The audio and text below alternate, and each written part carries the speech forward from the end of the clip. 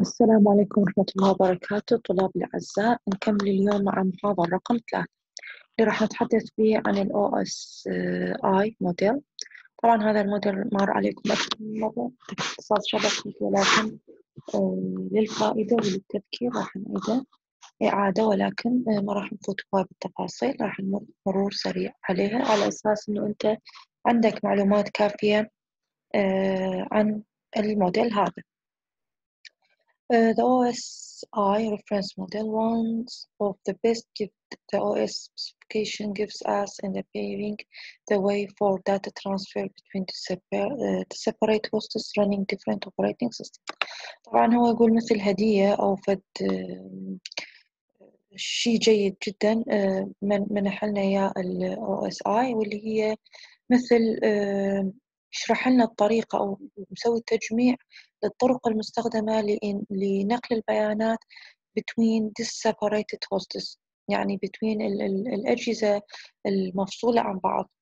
Running different operating system طبعا هاي الأجهزة اللي راح نكون بها الشبكة بها أكثر من نوع من operating system. اللي مثال عليه Unix host Windows Mac smart phones وهكذا. طبعا آه، هاي الإمكانيات اللي وفرت لنا هي OSI إنه جمعت لنا آه، الطرق اللي راح نحتاجها لنقل البيانات آه، ما بين أجهزة مفصولة وكل واحد به ال operating system الخاص به. As remember OSI is logical model طبعا إحنا مثل ما نتذكر أو نعرف ال OSI مو فد شي ملموس مو فد شي physically بينما هو logically غير مرئي. Not a physical one. It is essential a set of guidelines that developers can use to create and implement application to run on a network. طبعا هو فد guideline شلون التعليمات اللي راح يستفاد من عندها المطورين حتى آه، يكونون application على الشبكات ويستفادون من الشبكة اللي كونوها طبعا هنا راح نبدي top down يعني راح نبدي layer. The application layer is working as interface between the actual application program and the next layer down by providing a way for application to send information through the protocol task هو يقول لك الوسيط ما بين الابلكيشن layer هو الوسيط ما بين الابلكيشن program اللي موجود عندي في على الأجهزة في الشبكة مع ال layer اللي يجي بعده زين آه شلون راح يكون هو شو راح يسوي شلون راح يسوي ال interface عن طريق providing a way for application to send information through the protocol stack هو اللي راح يوفر لي الإمكانية اللي عن طريق ال application يقدر يرسل بيانات إلى ال stack أو البروتوكولات الخاصة بال application layer. An important note about the application layer that work as interface between actual application programs. يعني هو النتيجة اللي راح تحصل من application layers هو ال interface ما بين البرامج الموجودة عندي على الشبكة. ال application programs زين نجي لل layer اللي بعده اللي هو ال presentation layer طبعا ال presentation layer من اسمه آه، ماخذ ال ال ال الاسم مالته ماخذ من الوظيفة اللي يقوم بها اللي هي شنو؟ هو present data to application layer هو اللي يوضح ال data أو يوفر ال data لل application layer the presentation uh, layer gets its name from its purpose. يعني ماخذ اسمه من الغرض اللي موجود على موده. It is present data to application layer and it is responsible for data translation and code formatting هو اللي مسؤول عن ترجمة البيانات. Think of uh, it as OS model translator ممكن نعتبره إنه هو المترجم لل OSI model providing coding and conversation service هو اللي يوفر لي آه، ال codeات المناسبة المناسبة هو اللي راح يوفر لي الإمكانية إنه يكون عندنا تخاطب. يعني شنو معنى تخاطب؟ إنه الأجهزة الموجودة بالشبكة يفتهمون لغة بعض لأن أنا عندي جهاز ب operating system آخر من جهاز آخر ضمن الشبكة. إذا اللي راح يوحد البيانات أو اللي راح يهيئ لنا إياه هو ال presentation layer. The key function the key functions like data compression زين شنو مهام ال presentation layer data compression decompression encryption طبعا encryption أيضا يحدث في هذا ال layer and decryption أيضا decryption are associated with this layer كل هاي المهام ممكن أن تحدث أو من وظيفة هذا ال layer طبعا ممكن أجيب لك ما وظيفة ال presentation layer أنت راح تعدد لي المهام الموجودة اللي يقوم بها ال presentation layer بشكل مختصر some presentation layers uh, standards uh, are involved in multimedia operation as well. يقول لك أكو أنواع uh, من الشبكات أو من ال presentation layer يكون مسؤول أيضا عن ال multimedia ال multimedia شنو هو؟ ال audio وال video. البيانات اللي تكون على شكل audio و video والبيانات اللي تحتاج ترسل عن ترسل عن طريق الشبكة بدون انقطاع أو بتسلسل. نقدر نسميها multimedia operations. نيجي على ال layer اللي بعده اللي هو ال session layer The session layer is responsible for setting up, managing and dismantling uh, session between presentation layer entities هو اللي راح يوفر ال ال ال ال managing هو اللي يسوي management للأجزاء الموجودة أو البيانات الموجودة في ال presentation layer and keeping user data separated وكذلك هو مسؤول عن فصل بيانات كل user. يعني أنا ما أخبط ما بين البيانات المتنوعة اللي جايتني من عدة userات. المهام اللي يقوم بها الوظيفة اللي يقوم هذا الشيء هو session layer. Dialog control between devices also occurs at this layer. طبعا المحاورة اللي راح تكون ما بين الأجهزة الموجودة على الشبكة أيضا يكون تحت سيطرة ال session layer يعني شنو معنى dialog control أنا عندي dialog شنو معناها محادثة؟ عندي جهازين دي يتحادثون مع بعض محادثة مو طبعا محادثة مثل حالتنا اللي أتكلم به حاليا لا. المحادثة بالشبكة تكون عن طريق إرسال واستلام. بيانات فاللي راح يسيطر على هذا ال dialog على هذا الإرسال والاستلام هو راح يكون ال session layer نيجي بعدها لل transport layer The transport layer segments are reassembles data into a single data stream. طبعا هو اللي راح يوفر هو في هذا ال layer راح تكون عندي البيانات على شكل stream واحد. Services located at this layer take all various data received from upper layer. وظيفته شنو؟ إنه ياخذ كل البيانات الموجودة بال layer اللي بعد قبل الابليكيشن layer then combine it into one uh, into the same config data stream. يعني واحد نوع البيانات ويخليها في stream واحد. These protocols provide end-to-end -end data transport server and can establish a logical connection between the sending host and the destination host هو اللي راح يكون لي uh, فد logical connection فد ربط ما بين ال sending host ما بين الجهاز المرسل وال destination جهاز ال receiver on an internetworking عن طريق ال transport ل the pair of well-known protocol. طبعا هاي جدا مهمة. البروتوكولين المشهورين اللي هي TCP وال UDP وين يشتغلون؟ وين موجودين؟ راح يكونون ضمن هذا ال layer The term reliable networking can be used at the transport. layer طبعا إحنا آه كلمة reliable networking يعني أكيد مر علينا وراح تمر علينا بشكل كثير بما أنه اختصاص الشبكات reliable networking عملية ال reliable وين راح يكون آه تنفذ؟ وين أو الشبكة آه تحققها في هذا ال layer كلمة reliable networking يعني معناها شقد متانة الشبكة شقد الشبكة تقدر تقاوم من راح يكون بيه فد خلل معين أو في إشكال معين. اللي يضمن هذا الشيء هو المهام reliability من مهام ال transport layer. Reliable networking require that acknowledgements sequencing and flow control will be used. طبعا حتى نضمن ال reliable لازم تكون عندنا متوفر ال acknowledgement طبعا نجي هسه شوي نشرح لكم إياه. sequencing and flow control. flow control أيضا راح نجي نشرحها بالتفصيل. عندنا مشاكل راح تحدث ولكن إحنا عن طريق هذول الثلاثة نقدر نضمن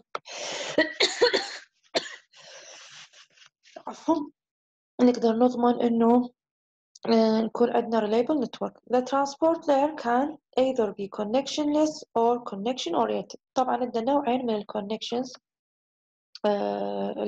الشبكة مالتنا تكون أما connectionless أو connection oriented. طبعا إحنا راح نيجي نتطرق لل connection oriented.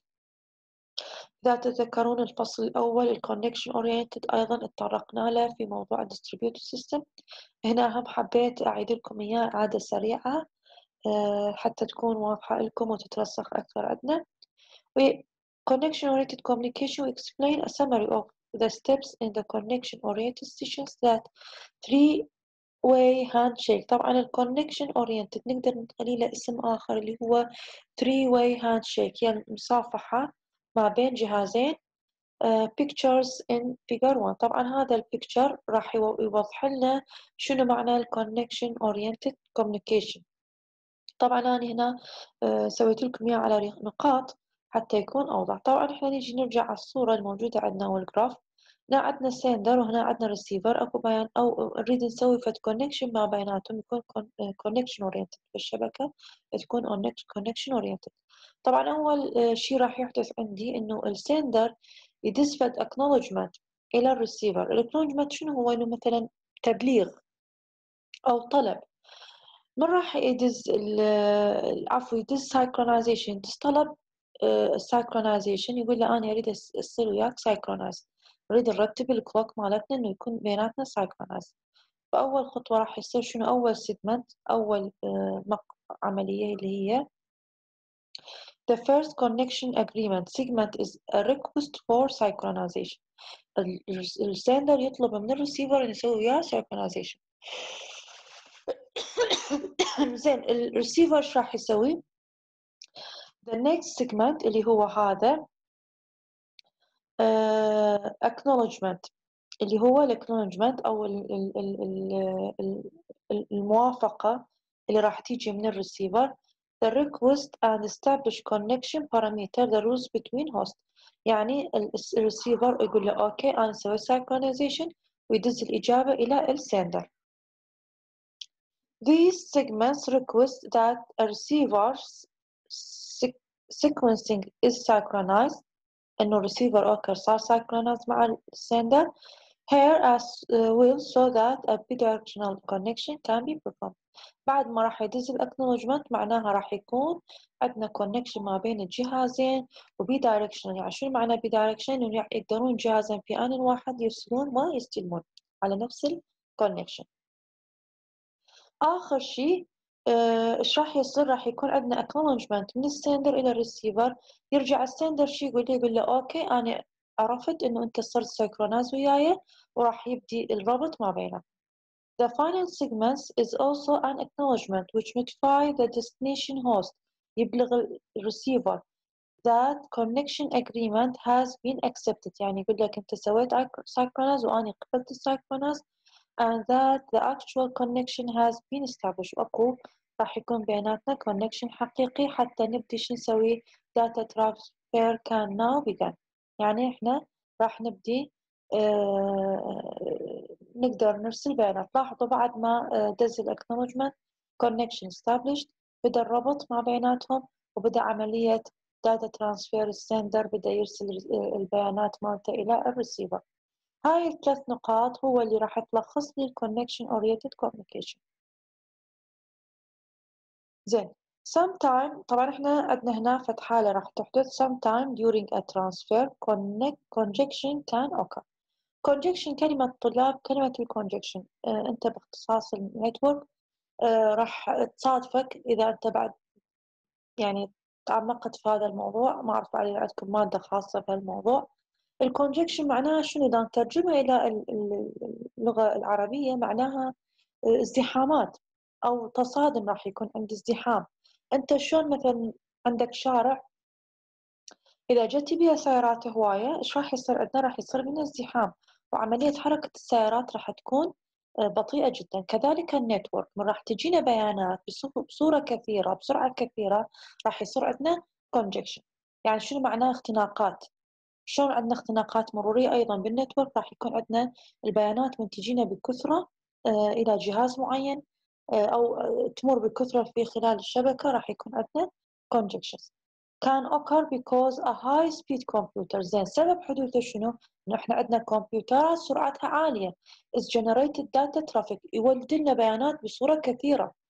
A lot faster than the network itself. ويكون عملية توليد البيانات. هاي كمبيوترات سريعة. بينما اني بالمقابل شبكتي ما تتحمل هالسرعة فايش راح يصير عندي؟ راح يكون عندي اختناقات مرورية. كذلك شلون إحنا المدينة عندنا مدن أو عندنا شوارع يكون أكو لود عليها ولكن الشوارع ضيقة ما تتحمل هذا ال load ما تتحمل هذا العدد من السيارات فراح يكون عندنا اختناقات مرورية. كذلك إحنا ال network مالنا نعتبره مثل شارع وإذا تجينا اني بيانات هواية فايش راح يصير؟ راح يصير عندنا ازدحام وراح يسبب لي congestion. زين شنو حل ال congestions هي عملية ال flow control إنه أنت تسيطر على تدفق البيانات. زين شلون راح نسيطر عليها؟ راح نجي هنا ناخذها uh, since flows and lost data. طبعا إحنا من راح يكون عندنا congestion راح يصير عندنا خسائر بالبيانات مالتنا. كان both be tragic يعني مأساوية شغلات تأثر على الشبكة تأثر على البرفورمانس مال الشبكة.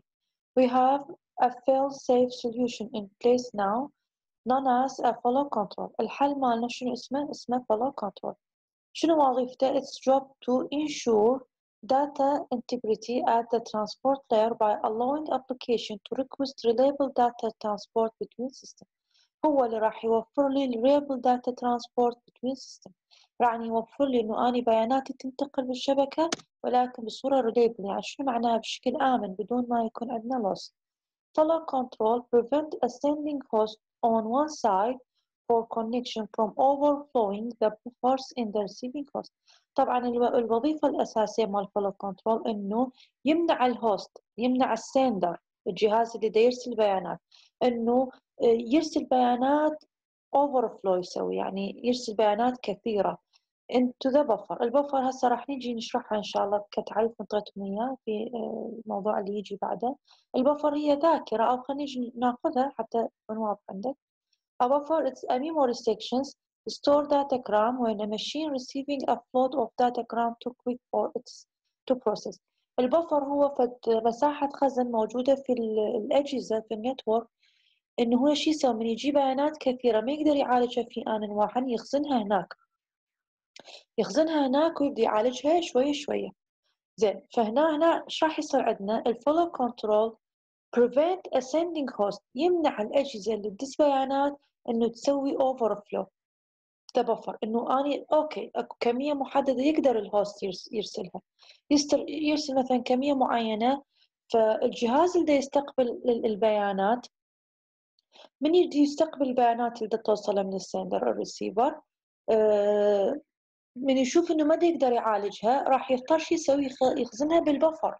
ال buffer هي مساحة الخزن الموجودة عنده. ولكن المشكلة وين تبدأ؟ من المشكلة تبدأ من ال buffer أيضا ما يبقى بمكان فمن ال buffer ما يبقى بمكان بهالحالة يظل ال message تضيع عندنا أو يسوي عندنا congestion إذا ال flow control شو يمنع عندي؟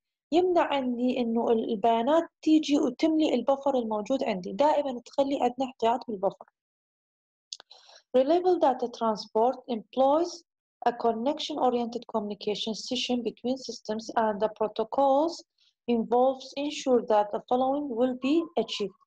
فإحنا يقول أيضا الحل شنو هو إنه يكون عندنا connection oriented وبهالحالة البروتوكولز تضمن إنه العملية تمت بصورة صحيحة.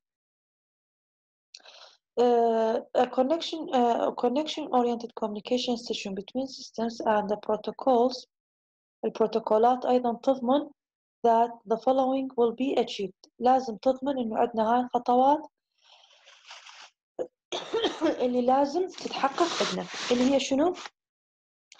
The segments delivered are acknowledged back to the sender يعني يقول لك أي بيانات توصل إلى ال receiver ال receiver لازم يدز acknowledgement إلى ال sender. يعني يدز فد معلومة يقول له okay وصلت عندي. Any segment not acknowledgement are retransmit إذا ال sender دز بيانات للريسيفر والريسيفر ما دز له جواب قال له okay استلمته. فهاي البيانات تعتبرها مفقودة أو lost فترجع تسوي له retransmit. Segments are sequenced back into their proper order upon arrival at the destination. طبعا يقول لك شلون إحنا البيانات نقل دزيناها عن طريق ال sender هناك لازم تستقبل بنفس الترتيب. يعني ما ممكن يكون عندنا ال packets لازم تترتب مثل ما بنفس ال sequence اللي دزيناه إحنا من ال sender Uh, manageable data flow is maintained in order to avoid congestion. طبعا إحنا ال flow control أو manageable data flow يعني إحنا نسيطر على تدفق المال البيانات uh, راح يضمن لي شنو؟ إنه ما يحدث عندي ال congestion overloading or worse data loss أو ما يكون عندي فقد بالبيانات. زين. آخر شي وصلنا إلى ال buffer، ال buffer معناه شنو إحنا قلنا؟ إحنا قلنا ال buffer موجود memory آه، مع الأجهزة في الشبكة، إنه من راح يجينا بيانات بصورة كثيرة الجهاز المستقبل ما يقدر يعالجها، فراح يظل آه، يضطر إنه يخزنها في البفر حتى يبدي يعالجها شوية شوية، ولكن المشكلة وين راح تبدأ؟ إذا البفر عندي امتلأ ما راح يمتلئ عندي البفر ما يبقى بيه مساحات خزن راح يسبب لي congestion اختناقات داخل الشبكة.